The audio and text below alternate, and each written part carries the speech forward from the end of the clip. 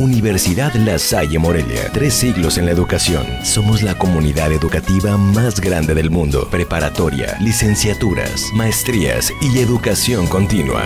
La Salle, profesionales con valor.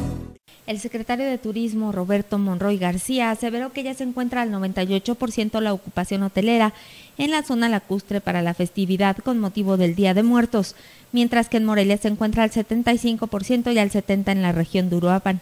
Estamos hablando sobre 120 mil, 130 mil personas y es una derrama estimada sobre, sobre 200 millones de pesos más o menos en todo el estado. Son 500 actividades además de informar que el 90% de los visitantes se estima serán nacionales y el 10% extranjeros, informó que alrededor de 45 medios del país e internacionales cubrirán las actividades tradicionales. Para Cuasar TV, Fátima Miranda.